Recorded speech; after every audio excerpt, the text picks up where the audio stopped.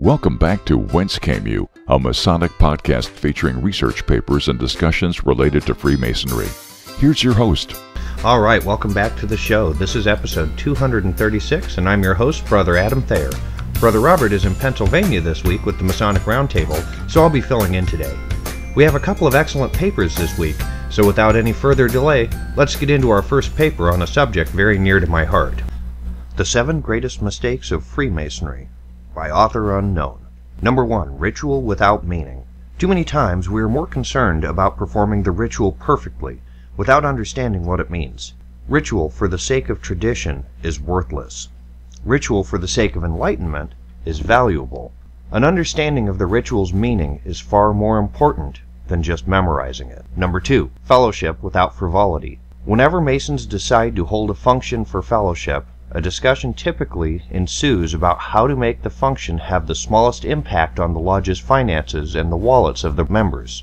This results in paper plates, meager meals, boring and less well attended events. To spend money wisely in order to make fellowship a grand time is wise for the lodge that wants to be successful. Also, we do not have to be slaves to form, endlessly repeating the same toasts and replies.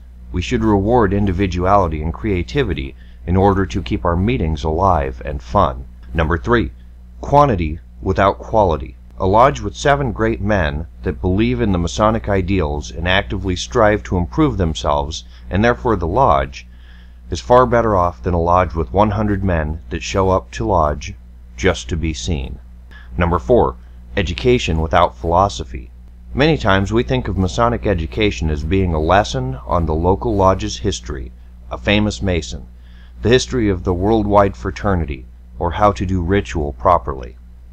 But if no philosophy is covered in Masonic education, then little self improvement is accomplished. Discussing Masonic lessons in terms of philosophy, ideas, and a man's conduct is what truly transform men into Masons. It is important to share and discuss topics that are foreign to a lodge's membership, and it is sometimes even necessary to challenge our preconceived ideologies through Masonic education. Number 5. Charity without connection. Big charities often require that fundraisers be conducted and large checks written to the people that actually perform the charity. This type of charity offers no self improvement because it has no real connection to us or our lives. If we extend our hands to our needed brethren, and devote our own skills and time to their problems, then we are engaging in true, meaningful charity. Number six, frugality without discretion. Frugality is not a tenet of Freemasonry, a cardinal virtue, or a landmark. It is acceptable for the lodge to spend its funds on worthwhile activities that will enhance the Masonic experience of its brethren. Not everything should be done in the cheapest way, a habit to which we have become accustomed. Number seven, leadership without competence. A man does not deserve to be master of the lodge solely because he has spent a certain amount of years attending meetings or because he is next in line. We, on occasion, elect our leaders without any regard for the skills that they possess in order to function in that capacity. We should only elect competent and qualified men to preside over us. I hope you were able to pick up a few ideas from that. I know personally, I've seen ritual without understanding happen too often in our lodges, and it not only deprives the brothers of the meaning, but also the new initiates that we're trying to reach.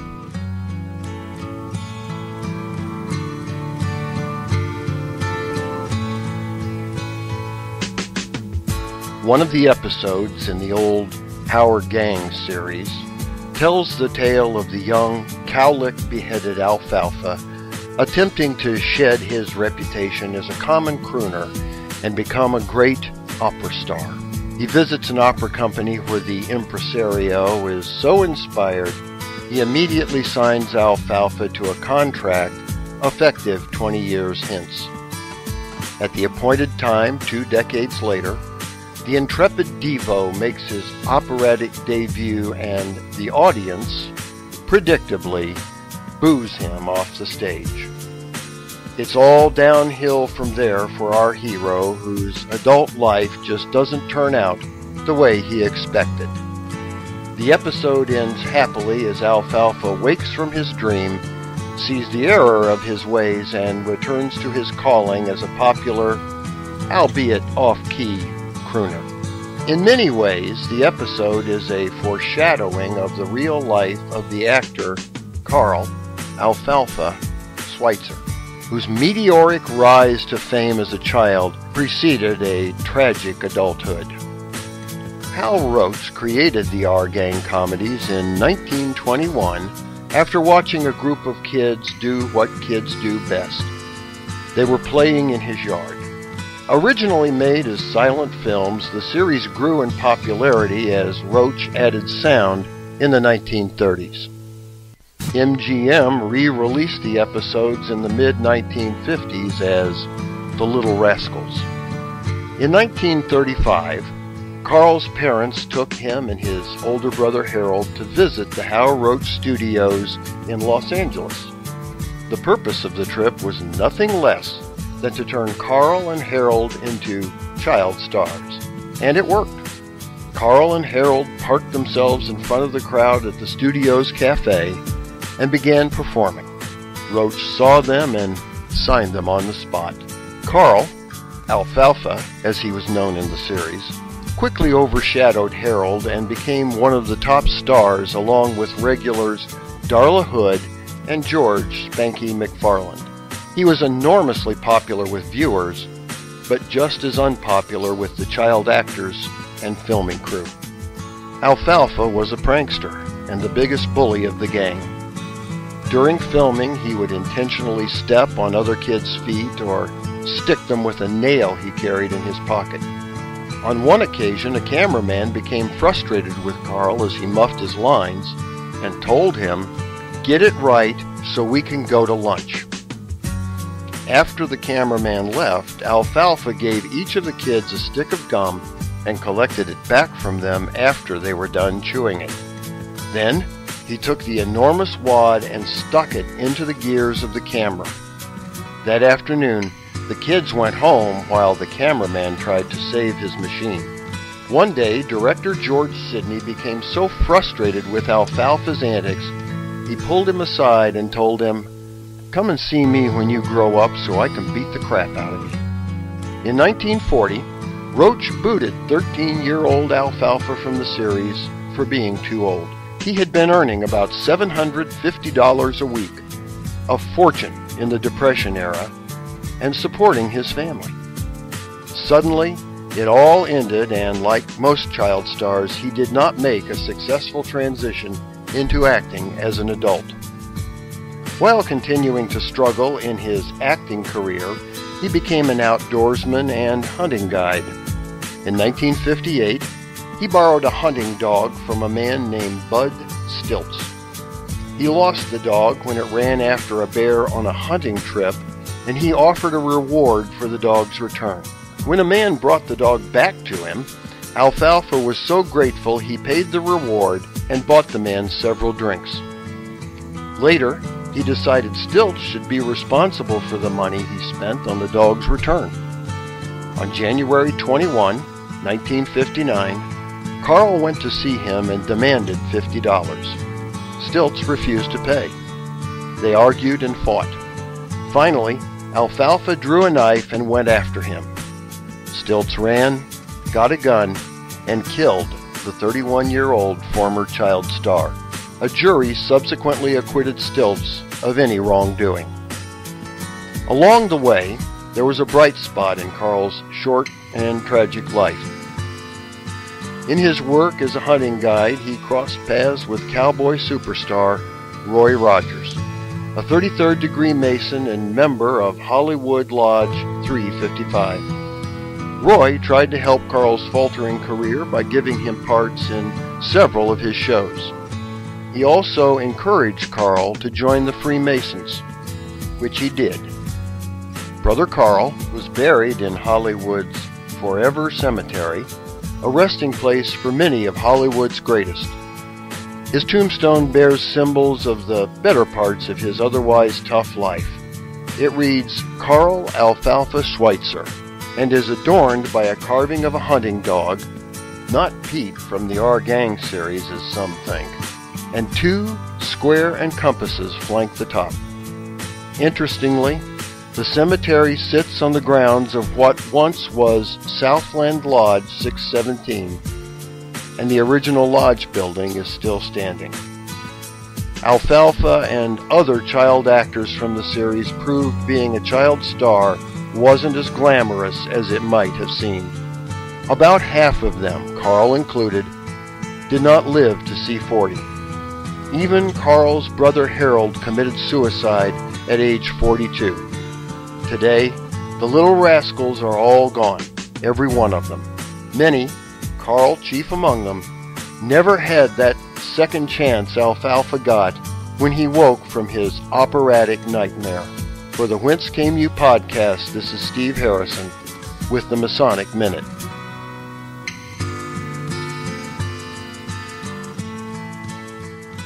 Now, up next, I have the pleasure of reading a piece from one of my favorite Masonic authors.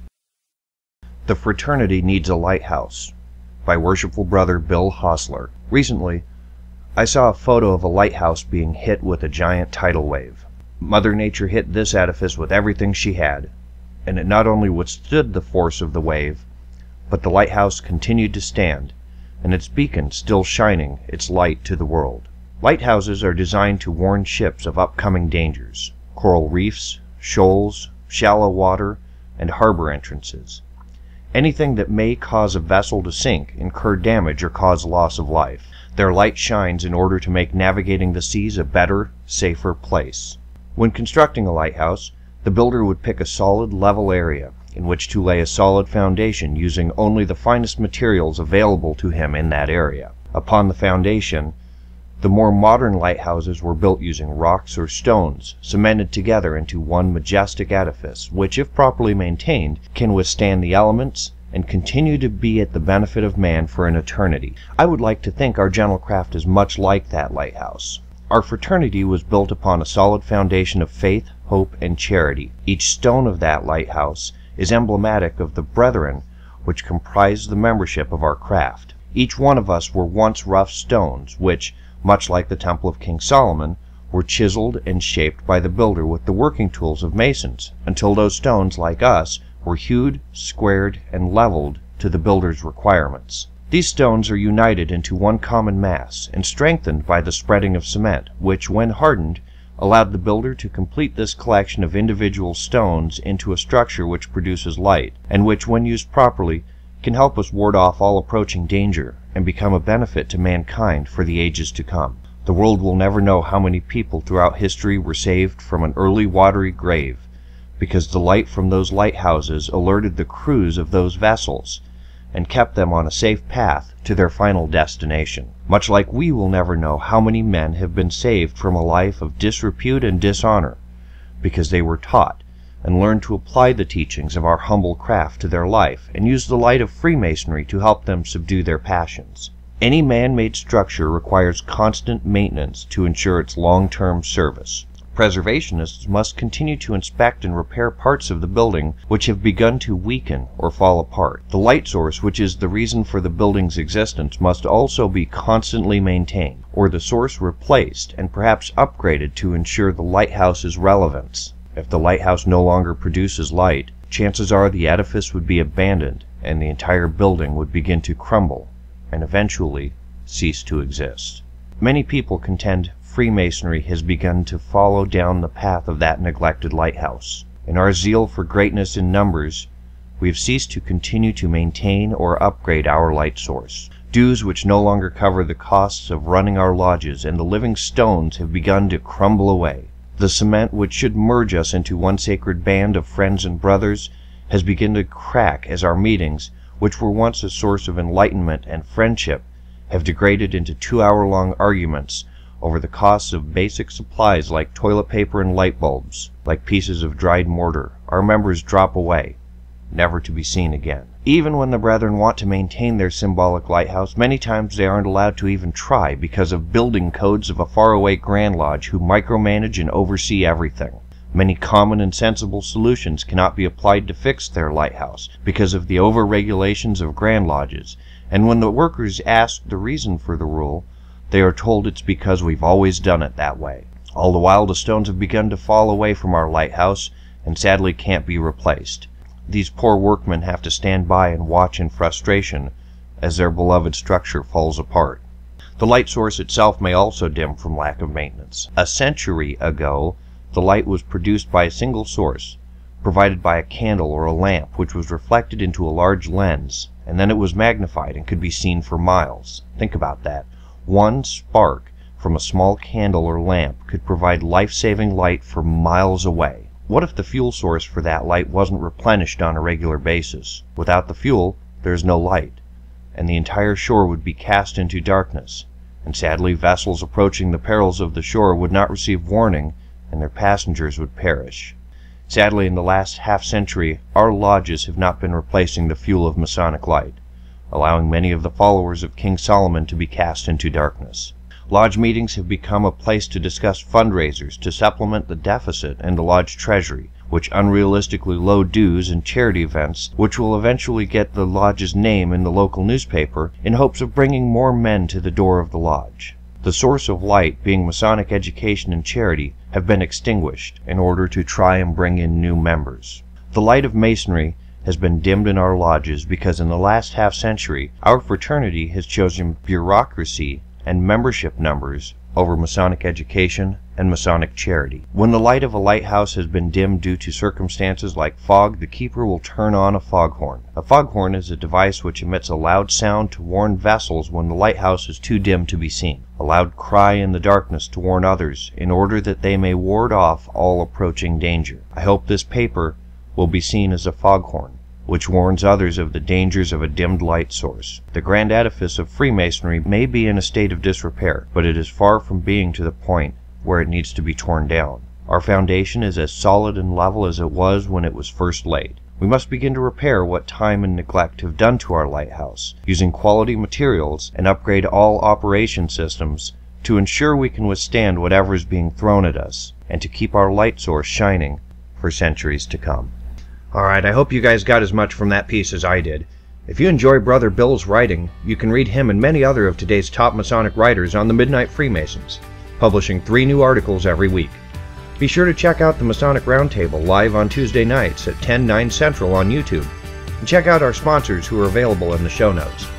Robert will be back next week. Thanks for spending this time with me today, and I look forward to hearing from all of you soon. From Whence Came You, I'm Adam Thayer. To Whence Came You, a Masonic podcast featuring research papers and discussions related to Freemasonry. Be sure to join us for our next edition.